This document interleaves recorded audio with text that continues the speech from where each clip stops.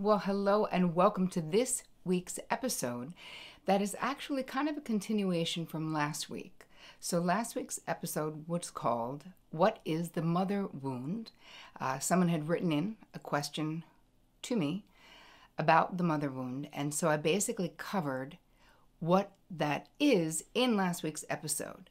So if you haven't listened to that or if you haven't watched that, if you're watching this on YouTube, please do that first because what I'm doing this week is I'm moving into steps that you can take to start healing this problem, this mother wound. So if you haven't done that, do that now. And if you have, let's move into what you can do.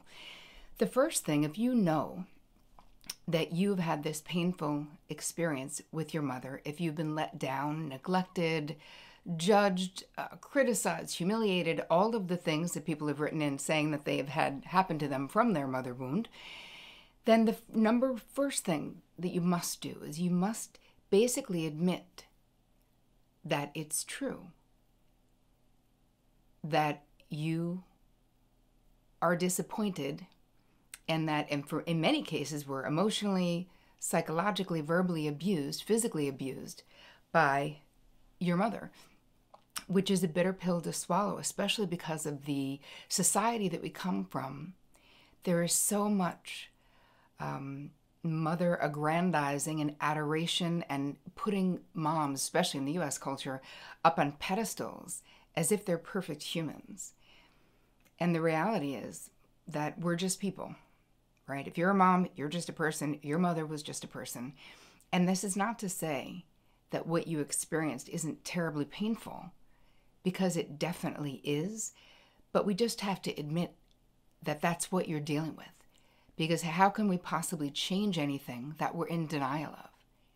You've got to stop making yourself wrong, stop saying you're too sensitive and that's what it's all about. Listen, if you listened to last week's episode or watched it, you know if you have a mother wound or not. And so the first part of healing is admitting that this is what is true.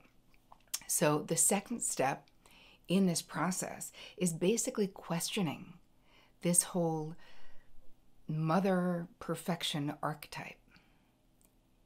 Right? That's not real. And there are many cultures, not just the US culture, that looks at women and judges them if they are not all giving, all sacrificing, all never having a problem themselves. They live for their children, they live for their spouse, whatever that is that isn't real. So we have to accept the humanness in our mothers. And I'm not saying uh, that makes it okay, especially if you had a narcissistic mother or an abusive mother. I'm not saying that's okay.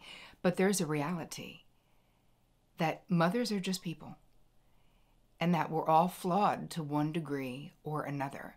So, moving into accepting the humanness, the messiness of raising humans, of doing the best you can, which may not be good enough, right? Which may leave this wound.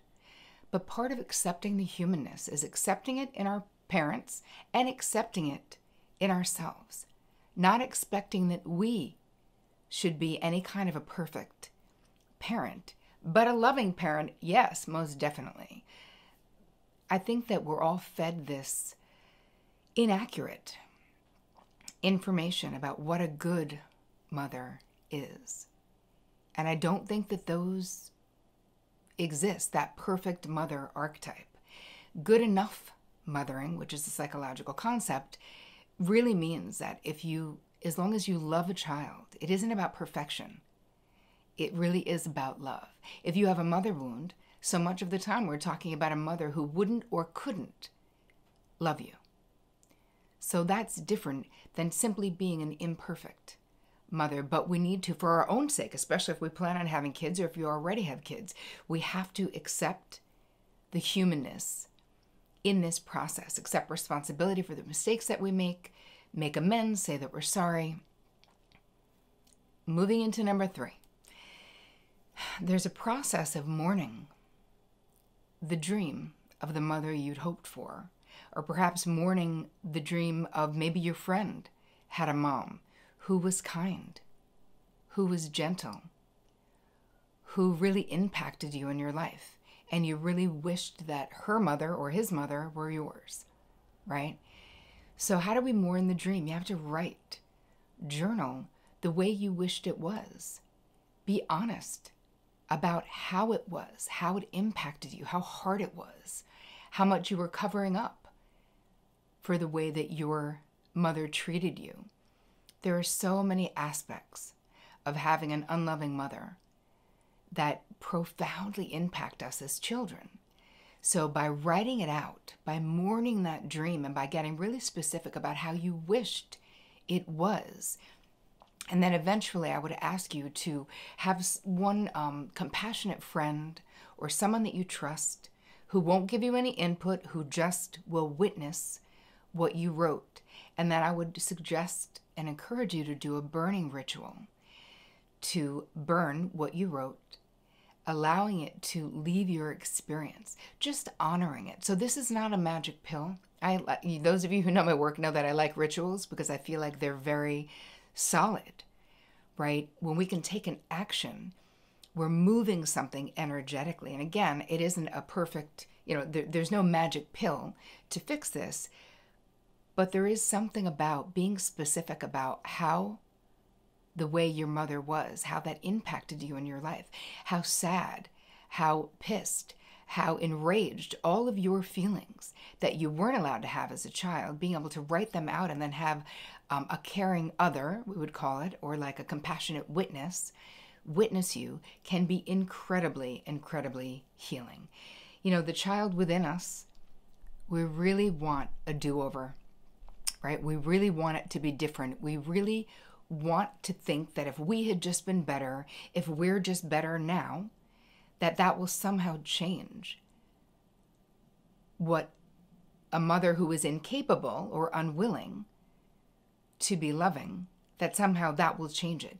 But we don't have the power to change someone else and we don't have the right right? Your mother's trip is her trip but you're a grown up at this point.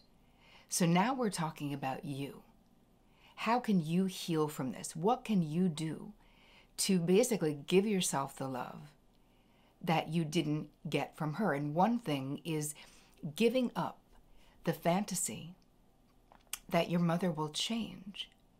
Because if she's proven herself to be untrustworthy, if she hurts you continually still, if she goes out of her way to embarrass or humiliate you, I've had so many clients with this scenario telling me different stories of how their mother would almost be gleeful to tell these embarrassing, terrible stories about them as children to their friends, to their boyfriends, to their husbands. Just awful.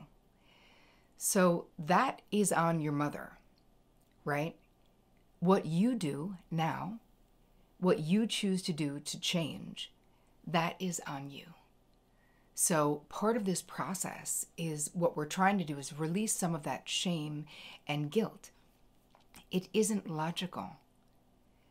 So, there's a part of our young minds, if we're children of an unloving mother, that we think, well, if my own mother doesn't love me, then how am I lovable? But if you've grown up to have children of your own, then you know that that is not true. That's a child's logic that thinks it must be me because it would be way too threatening at the age of 8 or 10 or even 12 to actually put it on the parent because we need them so much. It isn't like you're moving out and getting your own apartment at 12, right? So we still have to be in this space where they are dealing. Now, as a child, you you keep going, you know, keep banging your head up against that wall, seeking that maternal love that if you if it hasn't happened it's most likely never happening right? I mean that's the reality. But then we go on into our lives and we recreate these unhealthy relationships where we find ourselves in relationships with friends where we're seeking their approval and they give it or they withhold it. We may find ourselves drawn to romantic relationships or friendships or bosses of people who were incredibly critical the same way that your mother might have been. So I call these repeating realities. And we have to really look at what they are and understand what unconscious material might be driving us to continue getting into these types of relationships. So that was kind of number three, but let's move into number four, which is the three Qs. And if you know my work, you know that I talk about this, which are the three questions that you can ask yourself to gain clarity about what relationship you might be repeating. So if you had this, uh, had an unloving mother, let's say, start asking yourself the three questions, which I'll give you, and all of this will be in your little downloadable cheat sheet. So don't worry about it. All you need to do is just at the end of this, you'll see where there's a link to it. That the first question is so bring to mind a friend who the friendship causes you pain, right? It's they're approving of you, they're rejecting you, they think you're amazing, they're uplifting you, and then they're scratching you down. That is a friendship that could be mirroring this mother relationship. So the first question is who does this person remind me of? When they're being judgmental towards me, who do they remind me of? The second question is where have I felt like this before? And the third question is why is this behavioral dynamic? So let's say the dynamic may be that you're trying to get this person's approval, and they will sometimes give it and sometimes withhold it. That dynamic of you seeking, of you longing for something from them that they don't readily give you, that dynamic is what we're talking about. So the third question is why is this behavioral dynamic or this interaction, the dance that I'm doing with this friend, why is that familiar to me? How is that familiar to me? And you may actually take on the role of the disapproving or rejecting mother. So when we um, have a transference, that's the psychological term for it, and I call it a repeating relationship reality you you don't always have to be the role that you were growing up. Sometimes you're identified with the aggressor is what we would call it, rather than being identified with the victim. So you may ask those questions about a friendship where you are very judgmental of that person. You are approving or disapproving of that person. And in that, the answer to that question is why is it familiar to me? Is because this is what your mother did to you, and now this is what you're doing to someone else, or what you are engaging and allowing someone else to do to you. There's like um, a- another question or scenario um, that sometimes, if the three questions that I just gave you to understand repeating relationship realities doesn't reveal anything for you, another way of asking it that sometimes will produce more results is when I'm in this interaction in a relationship, whether it's a romantic relationship that I'm seeking for them to think I'm good enough, but they're rejecting me, or a friendship, who do I become? And who do they become when we're in the middle of that dance? And you may become your 10 year old self, and your friend or your lover may become your mother, or you may be doing it to them. So you may become the punitive or rejecting parent and they may become your 10 year old or 5 year old self. So that may sound confusing. I think if you're reading it on the blog, if you if you actually read it and you read it in the cheat sheet, it's a lot more clear. But the point is, we do repeat these relationship realities unless there's some kind of intervention, unless we take this unconscious material right? It might be subconscious because you kind of know it, but it's all the way down in the bottom of the basement, like you haven't looked at it in a long time, or you know it, but you didn't know what to do with it. You might have known that there's something wrong with your relationship with your mother all of your life, but you may, might not have known that it is called having the mother wound, right? You might not have known that there is something that you can do to get on the path of your own healing now that you're an adult. An unloving or rejecting mother has already taken enough from you. Isn't it time that you start running the show of your own internal and external life around this? And that means getting committed to your own healing. The fourth idea that I have for you is to become the good mother to yourself and to your children that you might not have had. So that means that if you have internalized your mother's punitive language and punitive, mean treatment of you, if you have a very harsh internal critic, that really isn't you. That is you having internalized the voice of your mother. And isn't it time to evict that voice from your head? I'm going to say, indeed it is. You can become the good mother to yourself by treating yourself with the same compassion that you would a child, a child that you adored. It's incredibly healing when you become a mother yourself to stop this cycle, to understand what happened in your own childhood so that you don't treat your children the way that your mother treated you. And protect your children. If you have a rejecting, narcissistic, mean, cluster B, we could call them, of the personality disorders, mother, protect your children from her. She doesn't have a right to do to your kids as a grandmother what she did to you because ultimately she'll turn everyone against you, or at least try. And she'll turn against them too, of course, sooner or later, as soon as they're not malleable and easy to manipulate. So, become the good mother to yourself, become the good mother to your children. Um, number six is find a good and kind mentor. Right? This can be a corrective emotional experience. Be drawn to the work of people who are loving be drawn to women. Perhaps if you're a woman and you have this mother wound, you can find, and maybe you already have naturally. I find that many of my clients will find themselves drawn to um, either the, the negative repetition is the repeating relationship reality of being drawn to the punitive mother, sort of looking for another outcome unconsciously, but with no intervention, there most likely won't be another outcome. But naturally, many of us are so adaptive that you might be drawn to women who are kind, who think you're amazing, who are verbally affectionate with you, who are supportive. So look for that in your life and then follow people people's work who are that way. I can be the representation of a good mother for you. I have excess love to give right? So even if you're just looking at the work that I'm doing and seeing that I see you, that you are lovable right this moment, there is nothing wrong with you and you did not deserve that shit. You didn't. And it's time that you take a hold of it and stop doing it to yourself. Because e- even once we're grown up, if your mother is still alive, you might still be doing this painful unsatisfying dance of not having good boundaries with her and all of that.